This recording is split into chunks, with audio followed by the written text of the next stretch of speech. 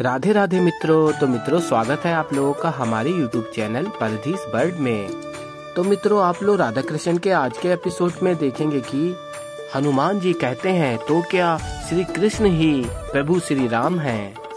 और फिर प्रभु कहते हैं, राम ही कृष्ण हैं। और फिर हनुमान जी कहते हैं, आप जो भी करते हैं प्रभु, उसके पीछे कोई कारण होता है। परंतु मुझ अल्प बुद्धि को ये समझ में नहीं आ रहा यदि आप यहीं द्वारका में उपस्थित थे तो आपने मुझे यहीं दर्शन क्यों नहीं दिए? आपने मुझे किसकिंदा बुला के वहाँ भेंट क्यों की मुझसे? और फिर प्रभु कहते हैं, वैसे तो आपसे भेंट करने के लिए मैं अत्यंत उत्साहित था।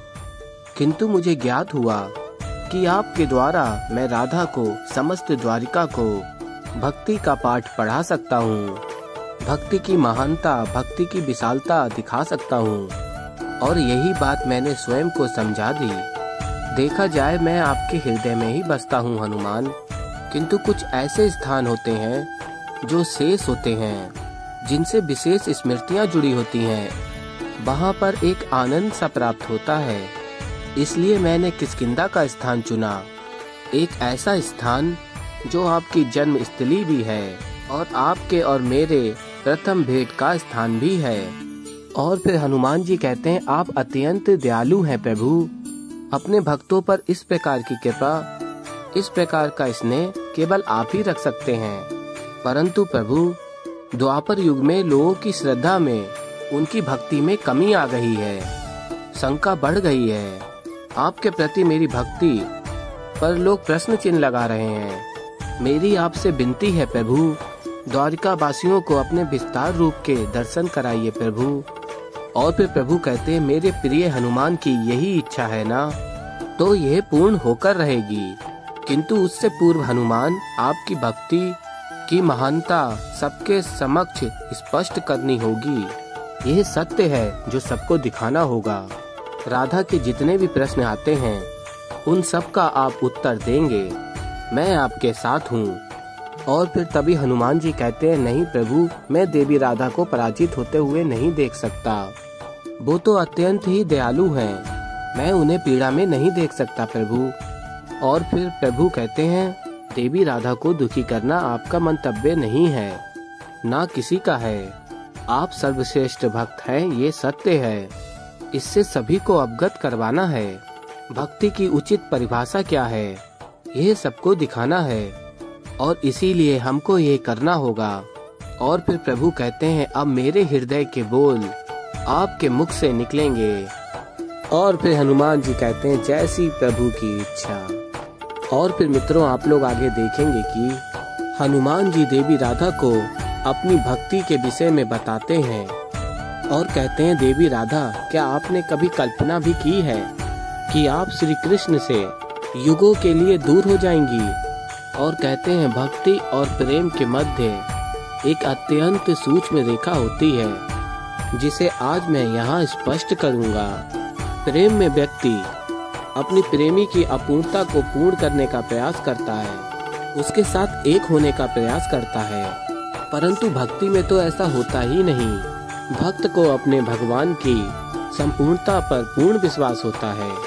और फिर आगे हनुमान जी कहते हैं, मेरे लिए मेरे प्रभु श्री राम सर्व समर्थ है, संपूर्ण है। और मैं इसी संपूर्णता को पूजता भी हूँ। यही मेरी भक्ति है। परंतु मैं आपसे पूछता हूँ, देवी राधा, क्या आपके मन में कभी ये विचार नहीं आया कि आप श्री कृष्ण की अपूर्णता को पूर्ण करने का प्रयास करें? क्या आप ये निश्चित तौर पे कह सकती हैं कि श्री कृष्ण सदैव आपके बिना भी संपूर्ण है? और फिर मित्रों, आप लोग आगे देखेंगे, राधा हनुमान जी से कहती हैं जब श्री राम आपके लिए सब कुछ है तो आपने उनके बिना युगो युगो तक कैसे जीवन व्यतीत किया? क्योंकि मैं तो कृष्ण के बिना जी ही नहीं सकती। और फिर आगे मित्रों, आप लोग देखेंगे, हनुमान जी कहते हैं, अपनी इस युगों की यात्रा के अंधकार को मैं प्रभु श्री राम की स्मृतियों के प्रकाश से प्रकाशित करता आया हूँ। श्री राम की स्मृतियाँ जीवित रह सके, इसीलिए मैं भी जीवित हूँ। और प्रभु श्री राम की स्मृतियों का दीपक लेकर मैं जिस भी स्थान से निकलता हूँ, उस स्थान का कल्याण हो जाता है। जैसे द्वारिका का। और फिर मित्रों, आप लोग आगे देखेंगे कि हनुमान जी कहते हैं, अब मैं अपने प्रभु से विनती करता हूँ, स्वयं आप सबके समक्ष प्रकट हो और सबको दर्शन देकर धन्य करें। और कहते हैं, मैंने एक शब्द भी असत्य कहा हो तो मेरे प्रभु आपके समक्ष प्रकट ना हो। और फिर मित्रों, आप लोग आगे देखेंगे, प्रभु श्री राम सभी को दर्शन देते हैं। और फिर तभी राधा के साथ साथ सभी द्वारकावासी एक स्वर में जय श्री राम बोलते हैं। और फिर राधा कहती हैं, हनुमान जी, आज ये सिद्ध हो गया है। आपसे महान भक्त कोई हो ही नहीं सकता। मुझे आपसे स्पर्धा नहीं करनी चाहिए थी। मुझसे बहुत बड़ी त्रुटि हुई है, हनुमान। आज आपने मेरा सबसे बड़ा संचय दूर कर दिया, जिसे मैं भक्ति समझ रही थी। वो तो कृष्ण के लिए मेरा प्रेम था। मेरा प्रेम महान अवश्य है, किंतु आपकी भक्ति, उसकी तुलना और समानता जग में किसी से नहीं है। आप ब्रह्मांड में सर्वश्रेष्ठ भक्त हो। और फिर मित्रों, आप लोग देखेंगे सभी द्वारकावासी जय श्री राम, बोलने लगते हैं और फिर तभी वहाँ से राधा चली जाती हैं।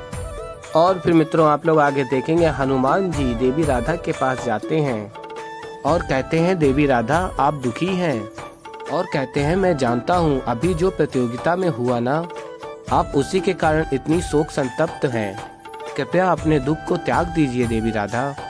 और फिर हनुमान जी सोचते हैं, हे प्रभु, जिस बात का मुझे भय था, वही हुआ। अब मैं देवी राधा को कैसे मनाऊं? आप ही सहायता कीजिए, प्रभु। आइए और देवी राधा के दुख का निवारण कीजिए। और फिर मित्रों, आप लोग आगे देखेंगे, श्री कृष्ण वहाँ आ जाते हैं और हनुमान जी से इशारा करते हैं और कहते हैं, नहीं हनुमान, अब आपको ही समझाना होगा राधा को। और फिर तभी देवी राधा कहती हैं, हनुमान जी, मुझे आपकी भक्ति की महानता पर तनिक भी संदेह नहीं है, किंतु आपने इतने युगों तक श्री राम की प्रतीक्षा की है। उसने मुझे ये सोचने पर विवश कर दिया है कि कि मैंने तो कृष्ण के लिए ऐसा कुछ भी नहीं किया। यदि ये भक्ति नहीं, प्रेम है तो ये प्रेम भी मुझे शून्य ही लगता है। इतना समय व्यर्थ किया है मैंने अपना। सत्य कहूँ तो अब जीवित रहने की इच्छा ही समाप्त हो गई है। और तभी हनुमान जी कहते हैं, नहीं देवी राधा, ऐसा विचार भी अपने हृदय में मत लाइएगा। और कहते हैं, वहाँ जो कुछ भी मैंने बोला, वाणी मेरी थी, परंतु बोल प्रभु श्री राम रहे थे। तो ऐसे ही मित्रों, आगे और भी बहुत कुछ देखने को मिलेगा। तो अभी के लिए इस वीडियो में इतना ही। तो मित्रों, अगर आप लोगों को हमारी वीडियो पसंद आई हो तो वीडियो कर दीजिए लाइक। और अगर अभी तक आप लोगों ने हमारे चैनल को सब्सक्राइब नहीं किया है तो चैनल कर लीजिएगा सब्सक्राइब।